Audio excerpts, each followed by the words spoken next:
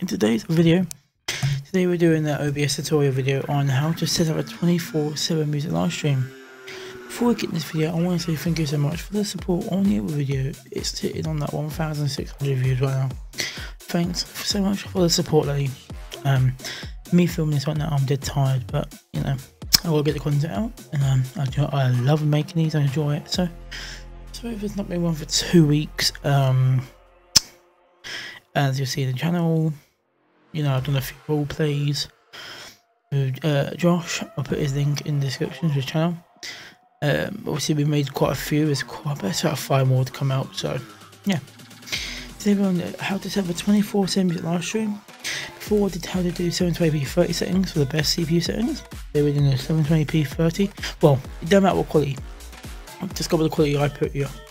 Uh, it's just for how to up a 24 7 music live stream. Like, having it really low bit rate, lowest you can, you can what makes it looks good, lowest frame rates you can do, you know, to make it last forever.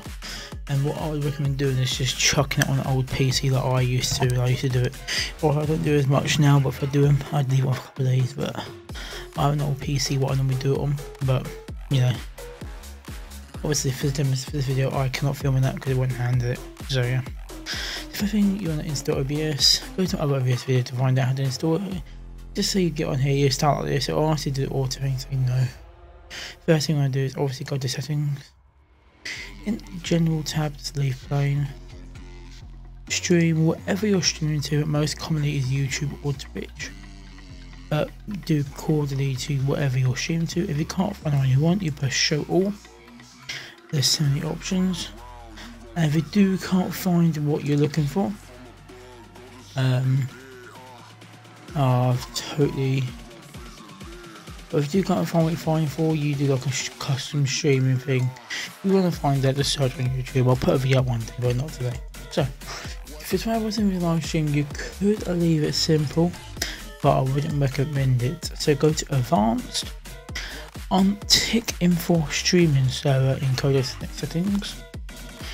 Bitrate bitrate is 500 is more than enough for the quality the video quality we're going to do cbr is good uh, if you're streaming on twitch it is forced to cbr but if you're on youtube anything works but cbr is the most common one key inventory thing we call it 2 youtube and twitch and every platform supports it so just give it a 2 cpu it's super fast profile high or main high High is for PC and PS4 users have uh, quicker quicker connect and better quality, or main is for mobile. So it depends on your users. Most people do watch on mobile, but just keep it high. Uh, obviously, if the quality is bad, turn it up. But normally, super fast works perfectly fine with that bit rate. So for recording, this could be recording as well. So if you want like this, record a bit of music. So recording, just go to MP4 X2, X264. Recording is a totally different thing. Recording you want 6000, but you could put it lower and put it to high as well. Then audio bitrate.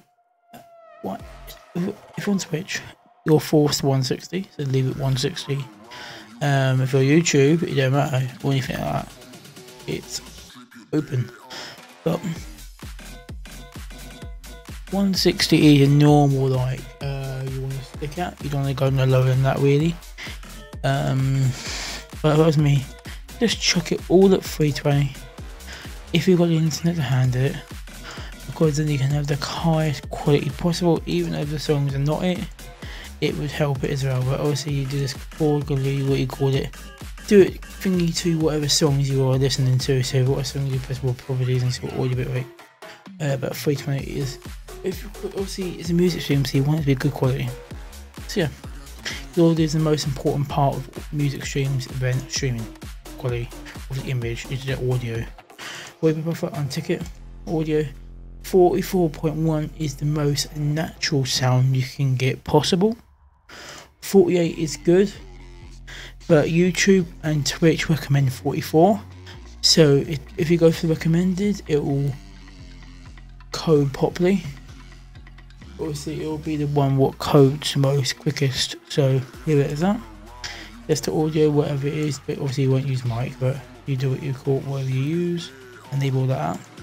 The bass output, so you're not downscaling, but 720 by 720, while in there 10 FPS, you're totally fine. Or if you want to put lower FPS, you press this one here, and you type in literally one frame, but just leave it at 10. 10 will be good enough, and leave it there. Hotkeys, don't hotkeys. This, it comes default normal, put it to high. Color source, 601 looks nice, but obviously, for the for me, I will call him 601 color space because I don't need the color. Uh, from images and that you do want the red color, you do it weighs in, in vibrance the colors more. So for images you do, so put 709 and leave it partial. But you do it to whatever you. Images are quite dark, you put them higher. It, it, it depends on whatever you're using, to be honest. Yeah, default. And that was it. And now, a good little tip is install VLC 64 bit version, and you get this. So, just say um, you don't want to have it on your, you know, built-in thingy, and you physically, I've physically downloaded the music of each song from the official NCS website. So, I've got them all here. Just for example, we're going to add just a few of them.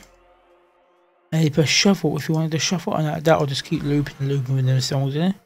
And there's no interference of this, so you can just pick this away. You can just undo it.